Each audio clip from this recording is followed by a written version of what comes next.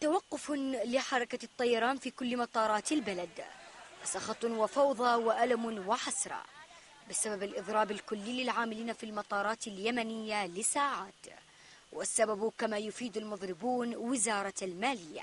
بدأنا صباح اليوم الساعة الثامنة صباحا آه تاريخ 23 يوم الاثنين.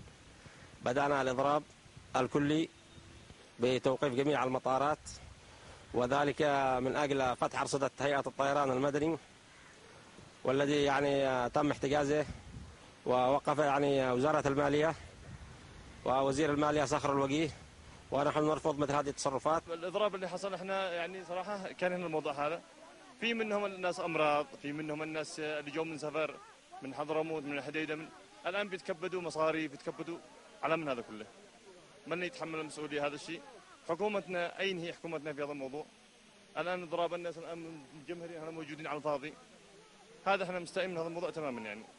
مواطنون يتحملون أعباء وأخطاء غيرهم ليقفوا مكتوفي الأيدي في المطار لعجزهم عن نقل مرضاهم بصورة عاجلة لتلقي العلاج في ظل تهاون الجهات المعنية لذلك.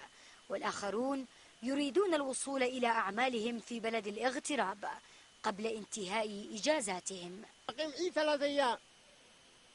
إذا ما سافر قبل ثلاثة أيام يعتبر أرجع من المطار أمريكا رأسا بدون أي أول ما يفتح الجواز حقي ويشوف أنتهي اليوم على طول يرجعني من هنا.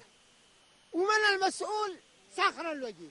ناشر مدير الهيئة ومدير اليمنية والوزير النقل ب عمل لنا حل أو تحمل نفقات حقنا هنا الجلسة في الفنادق في المواصلات والبهذلة والمرض والخسارة وكل شيء.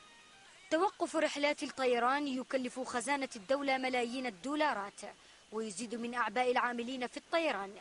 وفي كل الحالات الحكومة هي السبب الرئيسي في وصول حالة الخزانة العامة إلى ما وصلت إليه وسط تأكيد المضربين على استمرار إضرابهم.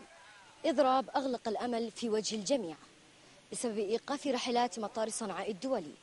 ما جعلت المواطن اليمني يستاء ولا يعلم لمن سيحمل المسؤولية. ندى فريد اليمن اليوم صنعاء.